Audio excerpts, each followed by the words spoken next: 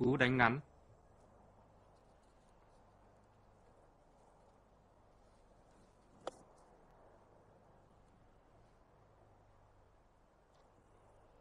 Yes, the short game. Cú đánh ngắn.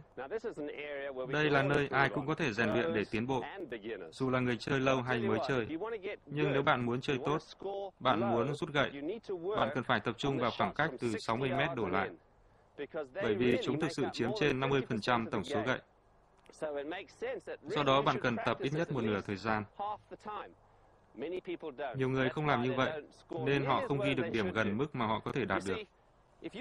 Nếu bạn thực hiện cú pitching khoảng 40 40 hay yards in 20 with yard 20 yards of qua hố cát, nếu bạn muốn đạt được pa, thì bạn phải đánh bóng đủ gần cờ để có thể gạt một lần bóng xuống lỗ. Có nhiều lỗ mà bạn không thể đánh bóng on với số gậy chuẩn được. Các số gậy chuẩn như sau. Với đường gôn pa 3, số gậy chuẩn là 1. hay 1 on. Nếu là đường gôn pa 4, số gậy chuẩn là 2 hay 2 on. Nếu là đường gôn pa 5, số gậy chuẩn là 3 hay 3 on. You've really got to be able to get the ball close. Nếu bạn không thể đánh theo số gậy chuẩn để đưa bóng on green, để đạt pa, bạn cần đánh cú ngắn, đưa bóng lại gần cờ. Như vậy, cú pitching, đánh you. cát, cú pitching và cú gạt là rất quan trọng. Tôi không thể nói hết được. Nếu bạn muốn nghe lời khuyên của tôi thì sau khi xem, hãy tập kỹ các cú đánh ngắn.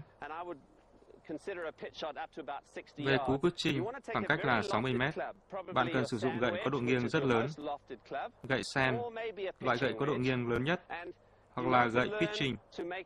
Bạn sẽ muốn học cách thực hiện cú swing nhỏ.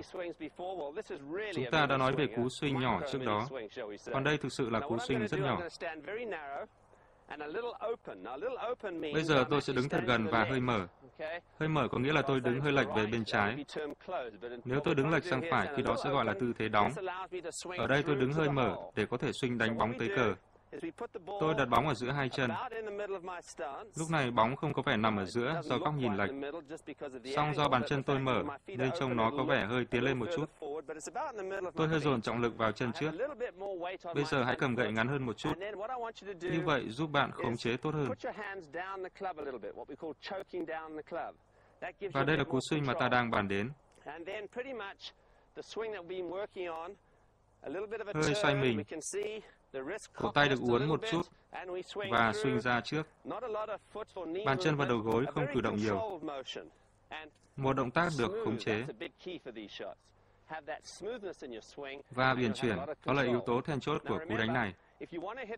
Thật uyển chuyển khi vung gậy và bạn sẽ kiểm soát được cú đánh.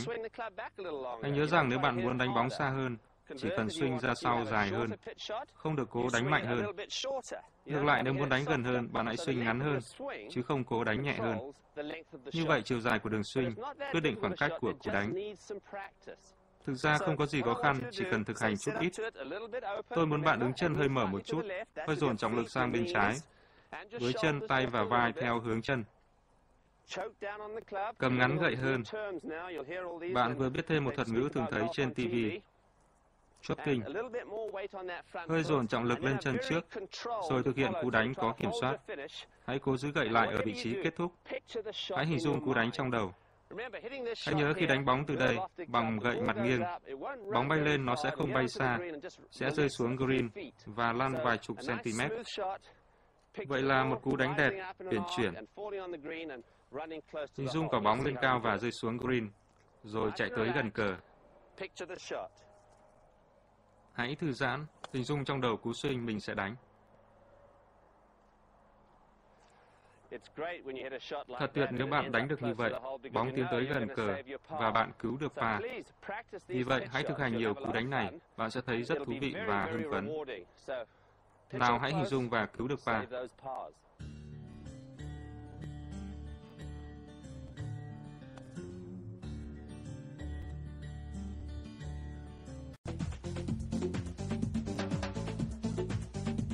Khả năng linh hoạt quanh green.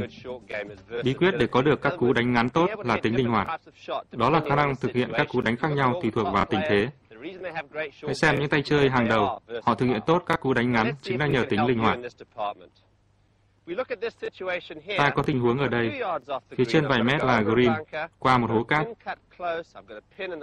Có một cột cờ ở vị trí chéo gần một cột cờ ở giữa bãi cỏ ngắn và một cột cờ ở phía sau. Ba lá cờ này đòi hỏi ba cách đánh khác nhau để đưa bóng tới gần. Với lá cờ ở giữa, có lẽ ta sẽ đánh bóng lên cao để nó lăn một đoạn tới lỗ.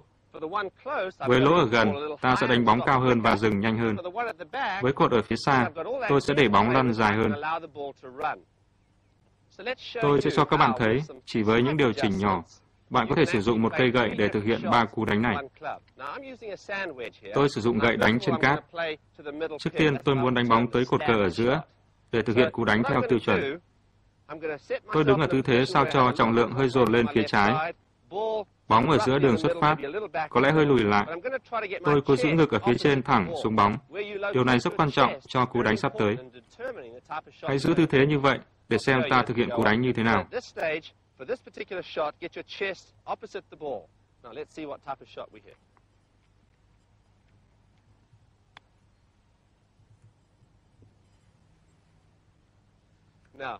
Ta thấy đường bóng khá cao, rồi bóng lăn một đoạn. Bây giờ đến lá cờ gần rìa hố cát. Tôi để bóng hơi cao lên so với đường xuất phát. Để ngược ở vị trí phía sau bóng. Tư thế này giúp tôi đánh bóng cao hơn một chút. Vậy là tư thế chân hơi mở và ngược ở phía sau bóng. Trọng lượng hơi dồn lên phía phải. Bóng bay lên rồi dừng lại khá nhanh.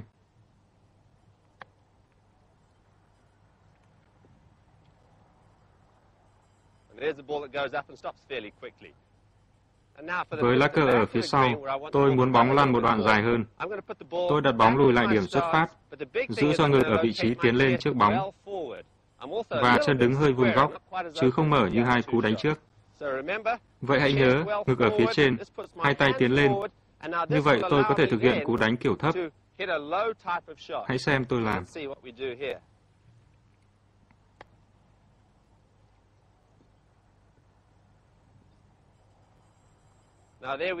Ta thấy bóng lăn dài hơn.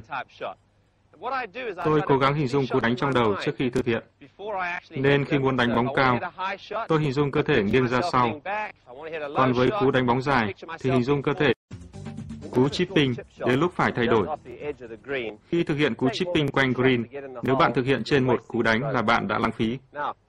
Tôi sẽ minh họa cho các bạn thấy những tay gôn nghiệp dư thường chơi như thế nào. Họ cầm gậy, đứng vuông góc với bóng như khi đánh bóng dài, rồi họ cử động tay và cổ tay, cố đánh bóng lên ở mức độ nào đó. Và thế là bóng lăn sang rìa bên kia. Chắc chắn thỉnh thoảng bạn cũng làm như vậy. Hãy xem một cú chipping tốt là như thế nào. Không chỉ đưa bóng đến gần, mà có thể rơi cả xuống lỗ. Bí quyết ở đây là giữ cho tay cử động nhẹ nhàng. Không cần cử động cổ tay, cánh tay phải thẳng đơ. Để làm điều đó, bạn phải hơi cử động cơ thể. Nhưng nếu giữ cánh tay thẳng đơ, bạn sẽ tạo được sự nhất quán. Vấn đề then chốt là tư thế. Tôi muốn bạn đứng về bên trái lỗ. Hãy hình dung như trên mặt đồng hồ. Nếu đường mục tiêu là 12 giờ, hãy đặt chân theo đường 11 giờ. Với trái bóng nằm lùi lại và trọng lượng cơ thể hơi ngả ra trước, khi nắm tay vào vị trí, hãy xác định mặt gậy hướng theo đường 1 giờ. Vậy là chân đứng theo đường 11 giờ, mặt gậy hướng theo đường 1 giờ. Bạn có thể hỏi làm thế nào để đánh bóng tới lỗ khi hướng mặt gậy ra đằng kia. Thực tế là khi bạn vung gậy theo một cung tròn nhỏ, và khi vung ra trước cũng theo đường cong đó. Bạn có thể thấy vung ra sau theo đường này và ra trước theo hướng này. Khi vung gậy ra trước, cơ thể bạn cũng quay theo, và mặt gậy sẽ đẩy bóng tới lỗ. Hãy nhớ, hai chân theo đường 11 giờ, mặt gậy theo đường 1 giờ và bóng kết thúc ở 12 giờ. Theo cách này bạn giữ được tay thẳng. Tôi sẽ làm lại. Bóng lùi ra sau, trọng lượng tiến lên.